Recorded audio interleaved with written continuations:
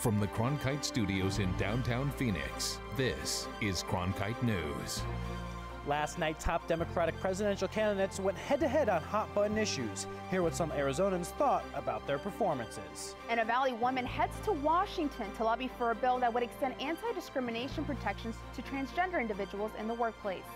And businesses across the valley are getting in the Halloween spirit, and one haunted house is letting you fight back. Cronkite News starts now. Good evening and welcome to Cronkite News. I'm Yahira Hawkes. And I'm Jake Gaden. Thanks for joining us. Poised and polished. That's how many debate watchers described Hillary Clinton's performance in last night's first Democratic presidential debate. But the former Secretary of State isn't the only one claiming victory today. Reporter Ivan Rodriguez breaks down some of the key issues to emerge from the contest. The five candidates on stage touched on a wide range of topics.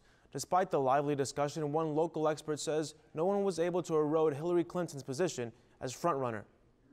Less than 24 hours after the Democratic presidential debate, both Hillary Clinton and Bernie Sanders are claiming victory. One issue the former Secretary of State was unable to avoid, the so called email scandal. But one ASU political scientist doesn't believe that's going to have a lasting impact when it comes to getting the Democratic nomination. The email scandal, in quote marks, is not a scandal at all. It has virtually nothing to do with national security, and it's a tactic being used by her opponents in the Republican Party to try to reduce her popularity in the country. Another topic brought to the forefront by moderator Anderson Cooper gun control. Each of the four candidates addressed the issue, but Simon says most views fell within party lines, except one. Senator Sanders, coming from my uh, state in which a great part of the population has firearms, a rural and a hunting state, has taken a more uh, nuanced position over time, although he still supports a ban on assault weapons and background checks when it comes to people with criminal records or people who have mental problems. The youth vote was important to President Barack Obama's victories, and once again, many younger voters are keeping a close eye on the Democratic candidates. I guess if anybody, I would consider Sanders, but I still probably wouldn't vote for him. I would vote for Hillary Clinton just to see what having a female president would be like, just to see her perspective on things, her views on what it takes to run a nation. Many experts say the biggest loser following last night's debate may actually be Vice President Joe Biden, because after Hillary Clinton's strong performance, there may be less support to have Biden enter the race. Ivan Rodriguez, Cronkite News. The Democratic presidential debate covered several controversial topics, including, including the Black Lives Matter movement. Presidential candidate Martin O'Malley touched on this point, stating that the movement is shedding light on a serious point and that the nation has undervalued the lives of people of color. O'Malley said our nation needs to address these points. Black Lives Matter, and we have a lot of work to do to reform our criminal justice system and to address race relations in our country. Former chairman of the Arizona Republican Party, Randy Pullen, took out to Twitter during the debate saying, Yes, Black Lives Matter. The best way to end the slaughter of young black men is to take guns away from blacks as they are the main killers. Gun control continues to be a hot debate topic. Last night's debate had answers ranging from Hillary Clinton saying it's time for the entire country to stand up against the NRA to Bernie Williams saying, Bernie Sanders saying, our job is to bring people together around, around strong, common sense gun legislation. Gun control policy is not a new debate. The Carnegie Knight News 21 project housed at the Cronkite School did a full in-depth investigation into gun culture in America. For a oh full report, go to gunwars.news21.com. As we head into a presidential election year, there's concern about the age of voting machines. But as Cronkite News reporter Aaron Johnson found, county election directors are ahead of the game, gathering their own funds to ensure the equipment is up to date. It's a new age of machines, voting machines. But a study released by the Brennan Center discovered state and local election equipment in 43 states had exceeded or are close to passing their lifespan of 10 years. Arizona is one of 14 states to have equipment more than 15 years old. The equipment, for the most part, has been fairly durable. Um, we've had it in service, like I said, we've had the AccuVote units in service since 2004. We've had very few problems like that. Back in 2002, Congress passed the Help America Vote Act and gave each state sufficient funds to improve elections with new procedures, databases, and equipment. But the money is gone, and the machines are beginning to show signs of age. We had, uh, in the 2014 election, our server um, began to show signs of uh, indicated trouble. It collapsed on us. It's probably just from, you know, um, old age or just the finicky nature of, of computer uh, machinery. Even though the HAVA money is gone, most Arizona counties have already purchased or are planning to purchase new equipment in the next year. I think our county elections officials are the gold standard for, uh, quite frankly, the country. Arizona has a long-standing uh, reputation as a state that really gets out in front of election equipment. And both Roberts and Mariskill say these upgraded machines are even more accurate at counting votes. In Phoenix, Aaron Johnson, Cronkite News. According to experts, voting machines undergo logic and accuracy testing before each election. Nine counties plan to replace their older machines ahead of the 2016 election. An Arizona state trooper risked his life stopping a wrong way truck driving northbound on a southbound side of I 17. And he did it with great personal sacrifice. Reporter Wafa Shahid spoke with him about the experience and how he's recovering. I took the initiative to what we call lawful intervention and, and uh, lined up headlight to headlight and, and ran right into him on purpose. State troopers patrol the roads, looking for hazards. Last August, Trooper Jeremy Barr spotted a wrong way driver going northbound on the southbound I 17. He was uh, uh, impaired by alcohol, uh, and uh, at the hospital he was uh, treated and released. But Barr's injuries were more serious. He was hospitalized with a fractured L4 vertebrae and seven bulging discs. Still doing a lot of therapy and treatments and seeing doctors and that. Uh, it's, it's, it's too far away to start looking at stuff. We're just taking it one day at a time. But even though his hospital bills are covered by workman's comp, he still has a family to support. Barr's best friend has started a fundraising campaign on giveforward.com. Just in four days, just with word of mouth, we've been able to raise $4,000. Um, and hopefully with this, we can uh, increase it and help it and help his family even more. He's my brother. Um, he would do it for me. Uh, we are best friends, and uh, I owe it to him and his family. Barr says wrong way driving is a growing threat to people not only in Arizona but also nationwide. Call 911 if you've witnessed any signs of wrong way driving. Tomorrow is Latino HIV and AIDS Awareness Day. Coming up on Cronkite News. Find out which clinic is offering free testing here in Phoenix. And the number of Latina business owners has tripled in Arizona in just the past eight years. See how these businesses are growing. Hi, I'm Paula Kerger, president of PBS, and I'd like to personally thank you if you've made a contribution to 8 Arizona PBS. You know, when you fund your favorite shows on this station, you're ensuring great television continues to be available for yourself, your family, and everyone in your community. One of the easiest ways to do that is by making a monthly contribution on an ongoing basis what we call sustaining membership. When you call, tell us how much you'd like to donate each month. Our current sustainers tell us that $10, $15, or $20 a month is best for them, but you decide what works for you. After you've made that call, we will deduct that amount each month from your credit card or your bank account, and we will continue until you tell us otherwise. Your membership will always remain current, and renewal notices will become a thing of the past.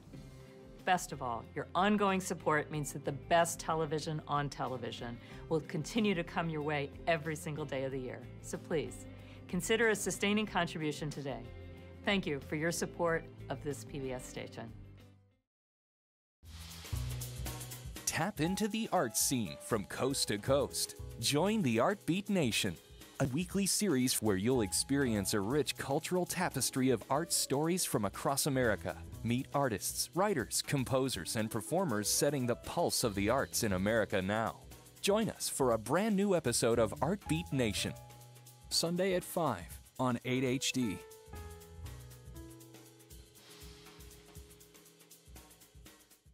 An Arizona transgender woman traveled to Washington, D.C. to share her story with lawmakers. Cronkite News reporter Adriana Barajas spoke to the woman who hopes that her message brings more protections to the LGBT community.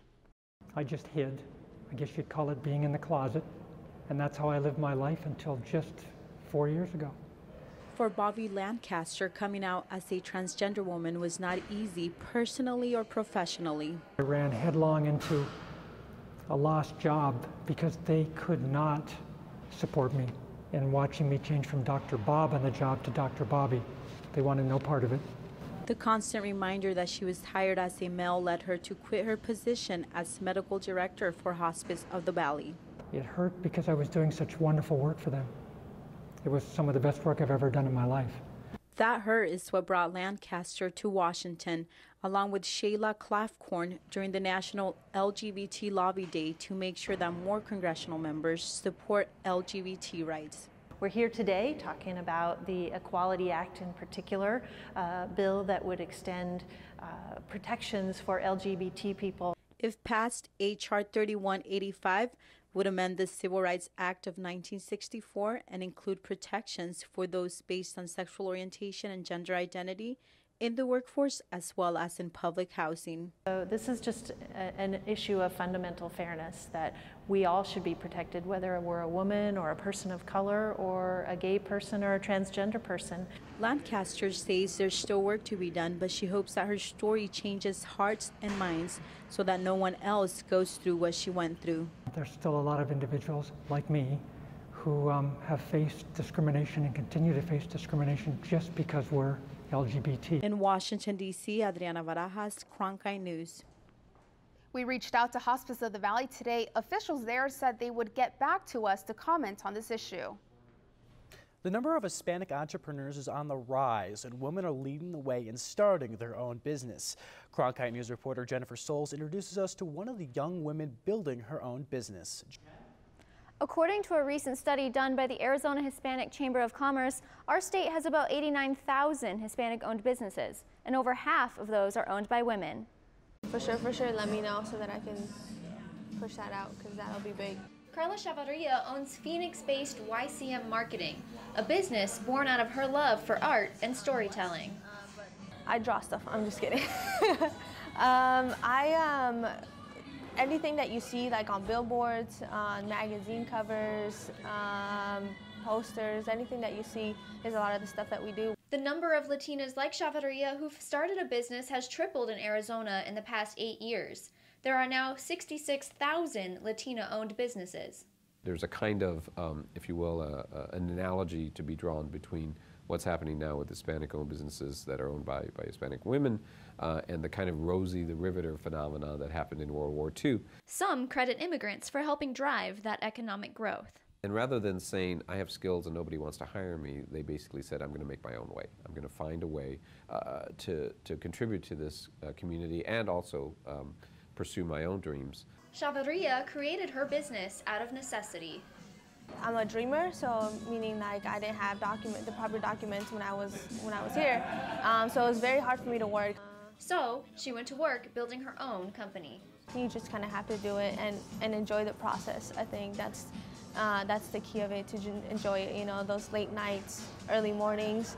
Um, you have to learn how to love it and enjoy it because otherwise you're not. It's gonna be the worst thing you do in your life. And that's the kind of drive that has translated into success for thousands of Latina entrepreneurs in Arizona. Since starting her business in 2012, Chavarria has seen business do so well that YCM Marketing is currently moving to a bigger location. In the Broadcast Center, Jennifer Souls, Cronkite News. According to the CDC, HIV still remains a growing concern and health risk for the Hispanic community. In honor of tomorrow's National Latino AIDS Awareness Day, Cronkite News reporter Lauren Michaels spoke to health experts in regards to the importance of HIV testing. Here in Arizona, more than 16,000 people are living with HIV. Hispanics make up about 26% of that number. This year, health experts and HIV advocates are hoping to put an end to this increasing number by encouraging everyone to get tested. Yes, I'm ready. Kate Kleckel found out 10 years ago that he is HIV positive. Now, through the Aunt Rita Foundation, he tries to educate everyone he can. Prevention is the cure. So um, I decided to dedicate my life to preventing it in others. If it was too late for me, it's certainly not too late for anybody else. But in order to prevent the spread of the virus, testing is key. It's very important for HIV patients to know their status and get tested and get on medications as soon as possible. One local clinic here in Phoenix offers free testing, and one employee who's a part of the Latino community strongly urges everyone to have the HIV conversation. Most important things that we can do for the community at large is to educate our children and to continue to put this at the forefront of uh, our Hispanic uh, population um, because we are um, more vulnerable. Tomorrow there will be free HIV testing at two Walgreens locations off 19th Avenue and Bethany Home Road, as well as 35th Avenue and Southern. It doesn't matter if you're uh, here legally or not legally, if you're an immigrant, where you're from, uh, all you have to do is show up at our Walgreens and we will test you. If we could test every Arizonan and get every HIV positive person in care and keep them in care, the chances that they transmit the disease to someone else drop by 96%. And for any reason, if you can't make it to the free HIV testing tomorrow, you can also visit a Theranos Wellness Center at any time to receive information and testing services. In the Broadcast Center, Lauren Michaels, Cronkite News. Sun Valley students are turning a park into a future community. Coming, on, coming up on Cronkite News, find out how one group has them building green homes and rebuilding their lives at the same time. Also, find out how not sorting recycling is increasing your costs. Tap into the art scene from coast to coast. Join the Art Beat Nation, a weekly series where you'll experience a rich cultural tapestry of art stories from across America. Meet artists, writers, composers, and performers setting the pulse of the arts in America now. Join us for a brand new episode of Art Beat Nation. Sunday at 5 on 8HD.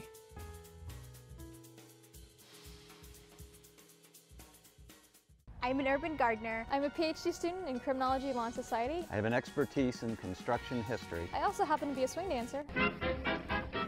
Oh, and I'm a source. And I really like being a source.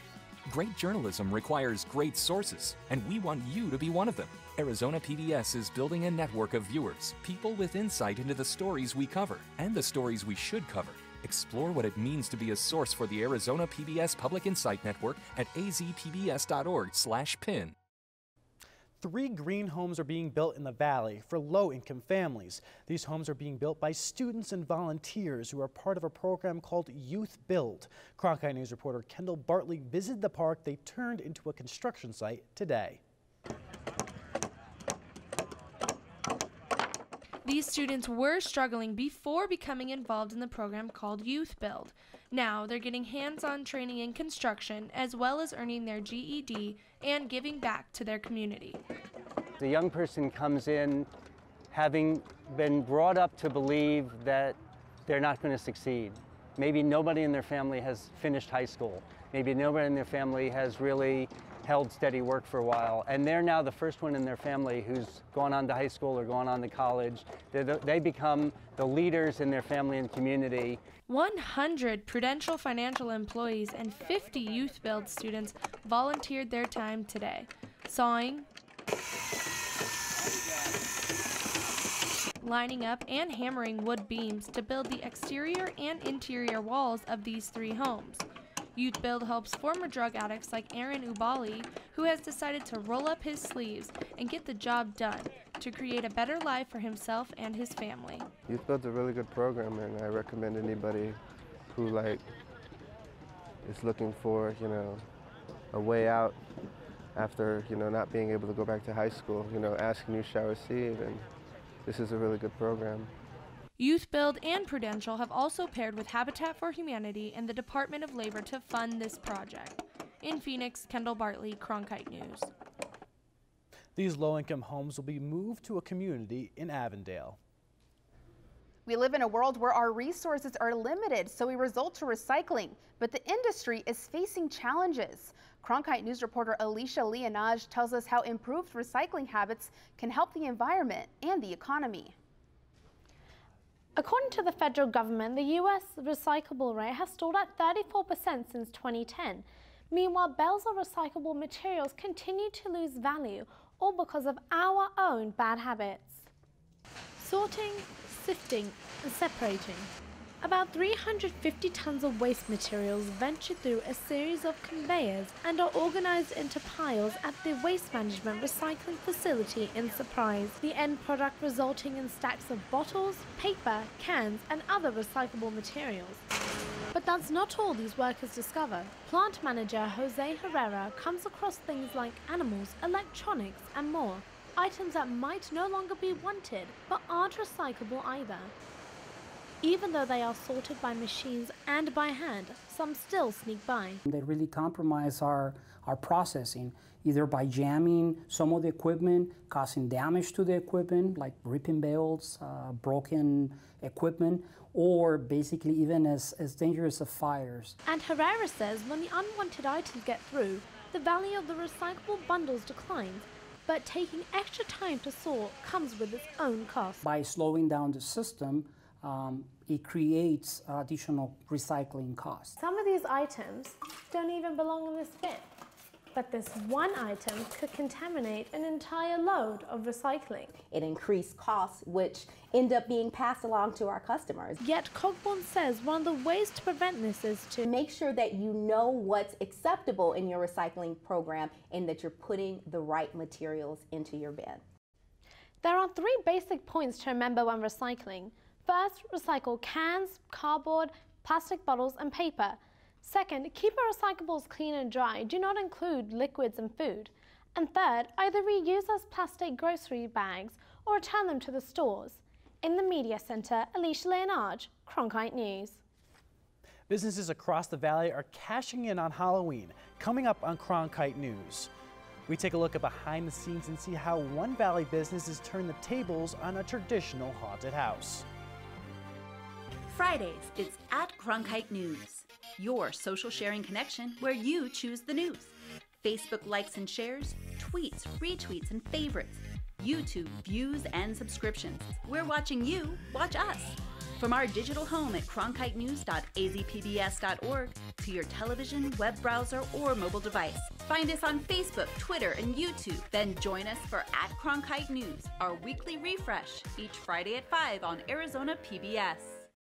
Tickets are available now for one of the most anticipated luncheon events of the year. Join industry leaders from the worlds of media, politics, business, and education as we honor award winning news anchor and late night host Charlie Rose, this year's recipient of the Cronkite Award for Excellence in Journalism. The event takes place at the Phoenix Downtown Sheraton on Monday, October 19th at 11:30 a.m. For tickets, visit azpbs.org forward slash rose or call 602 496 4539.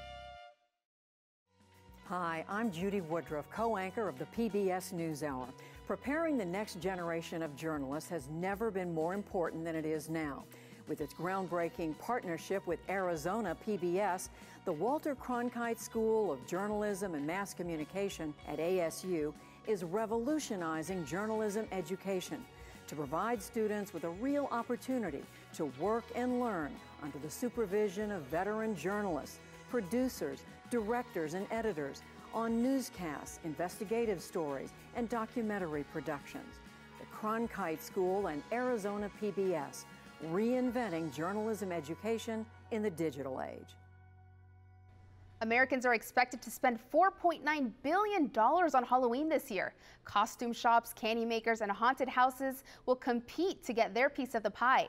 Cronkite News reporter Steve Dent found a local business that's using the undead to bring in customers. Who is the enemy? The infected undead. Four nights a week, Scarizona's Chris Prendergast takes customers on a wild ride, acting as Corporal Robinson. Now, I don't know what you think you know, what you might have heard, but zombies are real. They've taken over this part of the valley. Our mission this evening is to seek out and destroy the enemy. Light them up, light them up! Operation Zombie Storm is underway as we get closer to Halloween. Customers get to shoot 200 rounds of paintballs at live zombies. Scarizona aims their business model at millennials, knowing the National Retail Association expects 82% of people ages 18 to 34 will celebrate Halloween this year. We want them to have fun, and that's the age group now that's really into the haunted house. Haunted houses are coming back into vogue. It's fun for people to be able to go to them now.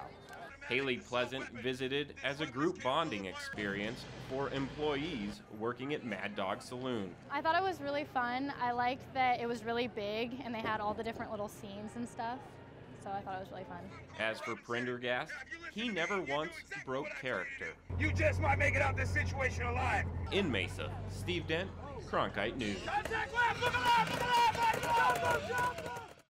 After the season ends, Scarizona gets together with the other haunted houses in the valley to plan for next year. They want to make sure their businesses are spread out and that each haunted house is a little different. Cronkite News is proud to be the news division of Arizona PBS. Here's what's next on Arizona Horizon and PBS NewsHour. Coming up after Cronkite News, it's Arizona Horizon. We'll hear about a new report that looks at the state's future in a variety of ways, and we'll visit with the author of an extraordinary and inspirational book about life's challenges and rewards. I'm Judy Woodruff on the next news hour. Our series, Congo's Hope, concludes with a look at the gorillas in Virunga National Park. That's Wednesday on the PBS NewsHour. That's it for Cronkite News tonight. Thanks for joining us. For top Arizona stories anytime, go to cronkitenews.azpbs.org.